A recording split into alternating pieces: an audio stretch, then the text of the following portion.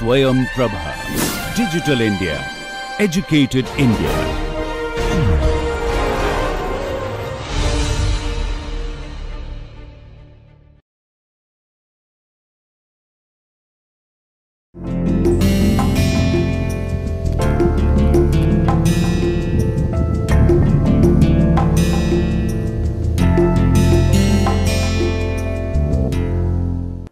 and welcome back to the lecture number 4 of the course on blockchain. So, till now we have seen basic definition, and variety characteristics of blockchain and a little bit of cryptography. In the previous lecture we saw the very different varieties and types of blockchain so that we can decide depending on the situation which type of blockchain to deploy in that particular problem. this lecture we will look at one of the key additions to blockchain what I call as a killer application they are called smart contracts. So, in the blockchain world as we have seen blockchain is what? It is a distributed decentralized ledger could be public, private so many other characteristics, but at heart it is a ledger, it is a book, it is a database of entries of transactions. We can make an entry that such and such a thing happened, we can for example, deduct x amount of money from my account, deposit into say, the merchant's account to whom I want to send money, that is it. It is nothing more than an entry. It does not take care of the outside world happenings. That is, if I buy a pizza from you, the entry that I transferred 0.1 of a cryptocurrency can be made into the blockchain, but it does not have a linkage to the outside world to make sure that the pizza is delivered to me and only then money is deposited back into your account. An application which makes that happen is what is called a blockchain. So, and that is a solution to this challenge that the challenge is to ensure that actions are based on transactions and smart contracts are the way to do that. Definition, let us look at a key definition. A smart contract is a computer code running on top of a blockchain containing a set of rules under which the parties to that smart contract agree to interact with each other. This has been taken from this site I have shown here, this and the next few entries. Uh, it is it's a code which is running on top of blockchain. It ensures that only certain after both the parties agree that once certain terms are met, certain conditions are met and that information comes to the blockchain, only then the transaction on the blockchain happens. Only when I when the blockchain receives some confirmation that the pizza has been delivered is when the money gets transferred from my account to the seller's account and it is an agreement between the two parties. And when conditions are met, the moment terms are met, moment pizza is delivered, no questions asked, smart contract will fire and the transaction happens gets recorded automatically. So, that in definition is a smart contract. It is smart because it needs once we define the contract, once the terms are once the terms are met, it automatically runs and executes. Let us take an example, the same example I have been using of me buying pizza. The various parties, there is me placing an online order for the pizza, there is the pizza seller and both of us agreed that it is on a cryptocurrency, we are going to do the transaction on the cryptocurrency blockchain. Then there is a delivery person, these are the 4 parties to the transaction. Step 1, I place an order to buy one pizza for 0.01 of some cryptocurrency, could be blockchain. Step 2, the pizza seller as I have been saying before you deliver the pizza you need to make sure that I do have that currency in my account. So, that is what the pizza uh, seller does uses some access could be a public blockchain, private blockchain what, what have you. The pizza seller goes onto the blockchain checks whether I do own 0.01 of that particular crypto coin. Once verified if not if I if there is no evidence that I own any crypto coins there is obviously he has no confidence that I am going to pay it does not deliver. Only when he verifies that I am able to pay will he proceed to the next step.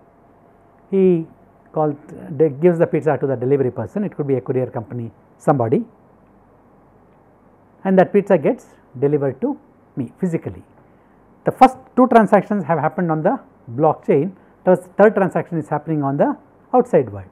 Pizza is actually coming to my home. I sign, you know these days they either take your signature, take your signature on a tablet. I do some entry to con confirm that indeed I have received the pizza. That entry that I make gets into the blockchain by means of a barcode or by means of a signature scan, some evidence which has been mutually agreed upon between I and the pizza seller. We have agreed upon that if my signature is digitally scan scanned, proof that pizza has been delivered. That goes from the delivery boy's tablet onto the blockchain that this has been my signature has been uploaded.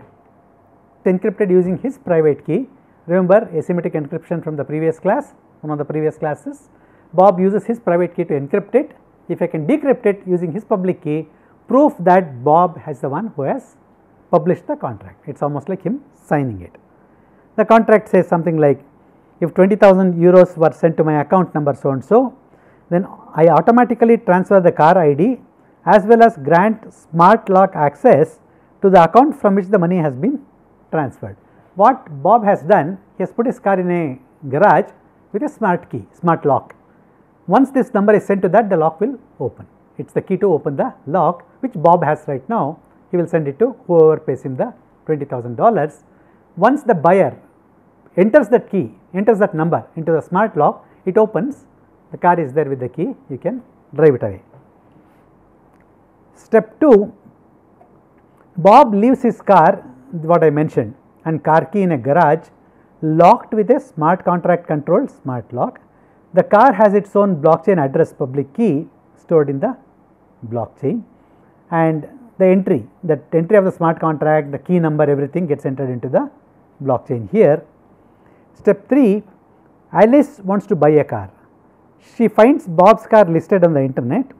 She signs the contract with her private key, transferring 20,000 euros from her blockchain address public key to Bob's blockchain address. So, since once blockchain she has transferred, if Bob can use Alice's public key to verify that yes 20,000 euros have been transferred, that is proof that it is Alice who has done the transfer. Step 4, the smart contract is verified by each node on the blockchain ne network checking if Bob is the owner of the car. He has signed a lock with his uh, private key, we can open it with this public key. We do know that he owns the car. And if Alice has enough money to pay, pay Bob, Alice has, Alice has sent a contract or message to Bob saying that I am going to transfer 20,000 euros. The smart chain will verify that indeed it goes to the block, blockchain, the smart contract will verify that Bob indeed has the key to the car and Alice indeed has $20,000 in her or more in her account. If the network agrees, if both the transactions fire, if both are verified that Bob indeed owns the car and Alice has more than $20,000, that all conditions are true, Alice automatically get the access code to the smart garage lock, what I mentioned. He has put it in a garage with a smart lock with the number and he has put that in the smart contract encrypted. The moment it verifies that $20,000, 20,000 euros have been transferred, that number is gets sent to Alice in some form, email, SMS, we have various ways. The blockchain now registers Alice as the new owner of the car. First thing it does, it sends that key number, the key to open the smart lock to Alice after transferring the money, after ensuring the money has been transferred and the name of the car owner has been changed from Bob to Alice. Now Bob has 20,000 more dollar euros more in his account. His account whatever there was there is 20,000 euros more on that and Alice has 20,000 less. Now once this is done that is Alice has the key to the garage and 20,000 uh, euros has been deducted from her account added to Bob's account. Now Alice can proceed. She can now go to the garage she can now pick up the car by unlocking the smart key with the private key, unlocking the smart lock rather with the private key. Now we can see that there are entries happening in the real world at the same time there are transactions happening in the outside world also, the physical world where the key gets transferred electronically to Alice once once she gets the key she can go and physically pick up the car. Electronically also money gets transferred from Alice's account to Bob's account after verifying that the terms and conditions have been met. this is the capability that smart cards, uh, smart contracts bring to blockchain and if permitted, many laws do not permit, we still have to go and uh, register our car ownership at the RTO and things like that. If laws permit, that is all it takes. In fact, RTO probably can run this blockchain. They can put this blockchain where they can transfer the ownership details from Bob to Alice with all the details. But as of now it is possible, but this is how we can make it possible. Removing all the middlemen, no notary, no broker, even the RTO itself may simply be the agency which is running the blockchain rather than a place where you have to go meet that the all the staff there and go from one desk to another, get all the signatures done and things like that. So, it can make it much faster, clean and um, less much cheaper, there is much lesser cost of transaction and smart cards are the ones, smart contracts are the ones which bring this capability. So, some characteristics of smart contracts. One is that smart contracts are self verifying. The steps done once the contract has been once Alice says that I hereby agree to send you 20,000 dollars. Two things need to be verified. One is Bob indeed is the owner of the car and indeed he has put that car in the smart garage with the key with the uh, smart lock key. So, that is done automatically Alice has to does not have to do it. Once the contract has been drawn the smart contract goes and verifies it looks at the ownership of the car in the blockchain and verifies that it is Bob using the combination of his private and public key. It also goes he has put his the lock the, the key to the lock right it goes and verifies that it is a valid lock and once Alice after this it automatically transfers $20,000 to Bob's account and at the same time transfers the key to open the lock to Alice. It verifies the verification process that Bob indeed is the owner, he indeed owns the uh, key to this smart lock and Alice indeed has more than 20,000 euros are done automatically by the smart contract. Likewise, it also the execution transferring $20,000 to Bob's account, delivering the key electronically to Alice, both also are done automatically by the smart contract.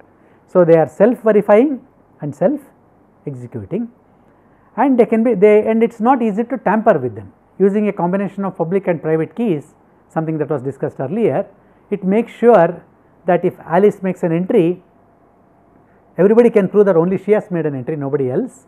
And uh, if Alice uses Bob's public key she can send a message to Bob send the money to Bob making sure that only Bob can receive that entry receive that entry read that entry receive the money. By using a combination of public and private keys we can ensure only that the parties which are involved are able to send communicate with each, each other and also authenticate. That if Bob sends me a message and Alice can open it with his public key it proves that only Bob can would have sent a message. Nobody else could have sent it. So, it, some third party cannot enter and try to change the terms or change the ownership and things like that it is tamper resistance.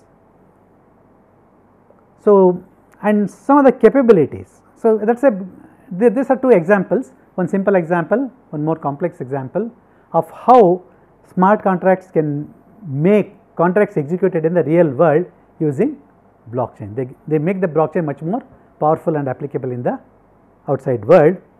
Some of their capabilities, let us look at some of their capabilities. They can turn legal obligations into automated processes. Once Alice $20,000 is transferred from Alice's accounts to Bob account, Bob's account, it is a legal obligation for Bob to surrender the key to the lock to Alice. That does automatically. Once money is transferred into Bob's account, he can even Bob cannot intervene and say don't send the lock, he cannot block that, it fires automatically. So, they can turn legal, legal obligations into automated processes. One of the key advantages, one of the key strengths of smart contracts they guarantee a greater degree of security. Since smart contracts are tamper, tamper proof and they are on the blockchain, remember once an entry goes into blockchain, you cannot change that and nobody cannot make, nobody can make a duplicate set of documents changing ownership, ownership from Alice to Thomas. So, it provides a greater degree of security. We know that in real life frequently we, come across a forged set of papers, people allege that I bought a house, I bought a car based on a forged set of papers I have no way of verifying, such a thing is not possible. I can always go and verify. If a third person comes in Thomas, if this transaction has happened already and Thomas sees that ad from earlier and comes and sees to see if Bob is still own the, owns the car, it will already show in the blockchain that now Alice owns the car. She has bought it, it cannot be changed. So, now a third party can always be sure that they are not Bob cannot sell the same car to two different people. So, in that sense smart contracts offer a greater degree of security. Third, with as with everything on the blockchain, they reduce reliance on trusted intermediaries. I no longer need the bank to do the transfer and send me an SMS. I do not need a notary to notarize documents. Both are done, both are automatically done on the blockchain level. I can always verify that. And and the third intermediary, the RTO, some many in most countries it is legally mandated that we use that. Even they can leverage blockchain to reduce their costs, lower transaction costs. These are the four big advantages of smart contracts. One more graphic of different different types of smart contracts. As you move from the left to right, the example becomes more and more complex. The simplest example digital value exchange. A family member sends some bitcoin to another family member. The moment I say yes, smart contract fires, transfers money from my account, sends it to my spouse's account. Simple example of a simple transaction on the bitcoin Here let us look at one of the one in the middle multi-party smart contract. Seller lends buyer funds to buy a house. Remember there are two different things that are happening. One is seller is selling a house to the buyer, one transaction which will follow a very typical process as between Bob and Alice, same steps. Seller may also be lending money to the buyer to buy that house, a loan. This is a complete different transaction, but will be linked into the same, same smart contract. First, they have to agree to sell the house or do the transaction. Next step, the smart contract based on the agreement lends, transfers money as a loan from seller's account to buyer's account, registers that as a loan and then transfers the documents of the house from seller to buyer. There are more than one transaction which is packaged into the same smart contract. Distributed another example distributed autonomous business unit. Unit of a corporation issues its own bonds and buyers monitor payments via a shared ledger. You say bonds are bought by public or various parties and the company also needs to know how many bonds have been issued. The subsidiary is the one which is issuing the bonds, all the bond holders need to know how many bonds have been issued, what is the yield. All of these can be automated, the process of buying a bond, monitoring a bond can be automated using a smart contract. It goes to an extreme of a distributed autonomous society. Groups of settlers from different areas establish self-enforcing trade agreements. People in different different countries if they want to transact between each other they can have a smart contract for each situation for each type of transaction as we have seen a smart contract can include more than one transaction. It can include transaction between more than one party. In this example a simple example the seller is lending money to the buyer to buy the house. That is not how it works right in most of the cases a third party housing loan society like HDFC or a bank lends money to the buyer and then the buyer buys the house and the transaction happens. So, multi-party, multi-link transactions also can be coded in a smart contract. Once the terms are bet, once the bank issues the money that gets transferred to the seller, then everything happens automatically. The documents automatically get changed to the name of the buyer and it gets recorded in the bank's ledger that this buyer has borrowed so much money from the bank, so many EMI, EMIs and all.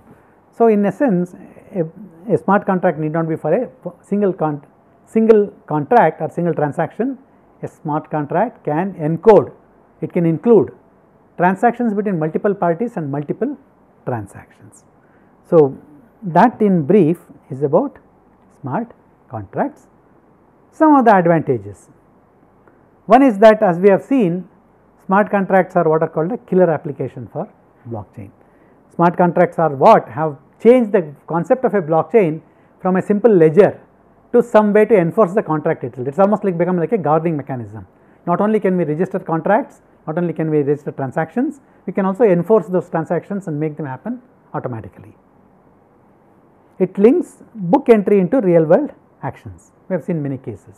Book entry is me sending 0.1 uh, cryptocurrency to you, crypto coin to you and real world is you delivering the pizza and the transfer, my transfer of money happening to you only after the proof of delivery. The automatic execution. Once I have received the pizza, I personally do not have to hand you the money, I do not have to make a credit card transaction, it fires automatically, money gets transferred to your account and again it establishes trust transparently. Let us go back to the example of Bob and Alice. How is trust established? What is establishing trust mean in this situation? Bob needs to be sure that Alice has $20,000 in her account because once he transfers the key, if she does not have, he will lose out. So, before that he has to verify that she has 20,000 or more euros in her account. On this hand, Alice wants to make sure that Bob owns the car and he has kept it in a garage where he can transfer it to me. Two things. And the smart card does both. Once they agree that this is the smart contract between us, the smart contract fires, it goes to the blockchain and finds out who is the owner of the car. If it is Bob, done. Where is the key to the that smart lock? Is the key there? Done. Two things, it verifies and tells Alice that okay, you can send the money Simultaneously, it comes to Alice's account, the smart card checks Alice's account, finds out that she has more than 20,000 euros, tells Bob, okay, you can sell. Once Bob sells, says sell, money gets transferred from Alice to Bob and the key code gets transferred and ownership gets transferred to Alice's name, key code gets transferred to her account, she can go to the garage and so here Bob and Alice may have never met, they may never meet, but trust is established. It is established based on pre-agreed rules transparently and information is available on the blockchain. Anybody else also can go and verify that Bob indeed owns the car, anybody can also go and verify that Alice indeed does have the money. So, that is one key advantage of block uh, smart contracts and as with everything in blockchain it reduces the cost of transactions. There are some drawbacks to smart contracts as with anything in the real world. Reversing transactions is not easy. Suppose for whatever reason Alice finds that the car does not start or the engine is broken down, reversing means we have to write one more smart contract which we may have to agree in advance and things like that. And second, transactions in a blockchain, if it is if it is especially it is a public blockchain and a public permissionless blockchain which is very common for these kinds of smart contracts, transactions are visible to every participants. Anyone can come and see that Alice bought a car for 20,000 euros, it is no more a secret. Whenever you do a transaction, it becomes visible to all the parties. So, unless we control it very tightly based on the requirements, the secrecy, confidentiality of transactions is compromised, it is already open, that is the way it is, we can control that though. And fixing any bugs in the code can be problematic. Smart contracts have to be coded every time and once a smart contract is drawn it becomes public everybody can see that. If there is a bug in the, the smart contract which can be exploited it takes time to make the change it takes time to make the change to the blockchain make the change to the smart contract by that time it is visible to everyone. So, if somebody is quicker on the draw they can probably compromise and take advantage. These are these do not happen in every case, but we need to be mindful that some of these drawbacks are associated with smart contracts. So, in essence that is about one key application, one key application on top of a blockchain which makes blockchains much more useful and smart contracts most of the blockchain development platforms which we will see in a later lecture do permit writing of smart contracts. They include smart contracts. So, with every transaction we can write a smart contract associated with that that once the transaction once the terms are fired then and only then a smart contract uh, the transaction actually happens it gets recorded in the blockchain. So, this in brief is a summary of what smart contracts are. This is the end of the fourth lecture. Thank you.